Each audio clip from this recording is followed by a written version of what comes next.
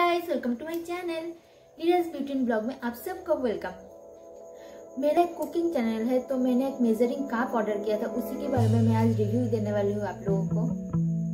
तो अब इसका पैकेजिंग देख सकते हो, कुछ इस तरह से आया है।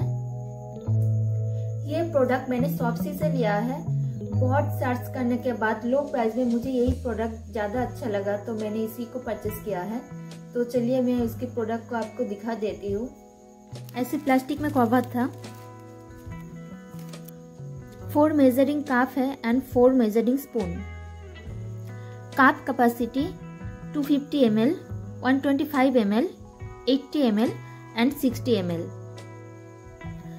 by the way आप देख सकते हो, इसमें 125 ट्वेंटी है और इसमें भी 125 ट्वेंटी है। तो इसका प्रिंटिंग गलत है, पर इसका साइज़ ठीक है, इसीलिए मैं इस प्रोडक्ट को रख रही हूँ, इसको एक्सचेंज में नहीं करूँगी।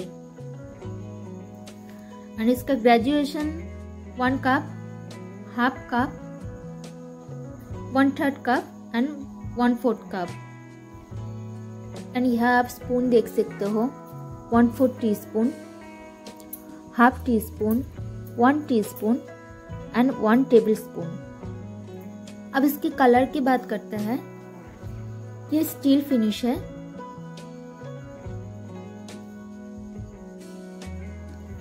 प्रोडक्ट का वेट है 340 ग्राम।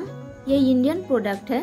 एंड अभी इसकी प्राइस की बात करते हैं। इसकी प्राइस है 333 आप अगर खाना बनाना और खाना खाना पसंद करते हो तो you can check out my cooking channel फिर से मैं पूरा प्रोडक्ट आपको एक बार दिखा देती हूँ।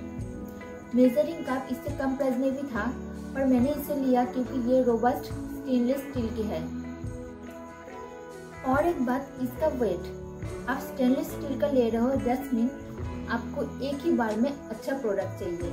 मैंने स्टेनलेस स्टील के और भी बहुत सारे मेजरिंग कप देखा था, पर उसका वेट बहुत कम था। मुझे यही ठीक लगा कि प्राइस उससे थोड़ा हाई है सो एवरेज में मुझे यही प्रोडक्ट बहुत अच्छा लगा।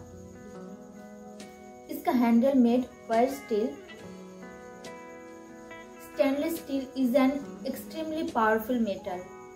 आपके खाने को हाइजीनिक रखती है एंड लॉन्ग टर्म वैल्यू है इसकी। आपको अगर मेरा वीडियो अच्छा लगा तो लाइक, कमेंट एंड शेयर करना। एंड प्रोडक्ट लिंक मैं डिस्क्रिप्शन बॉक्स में दे दूँगी।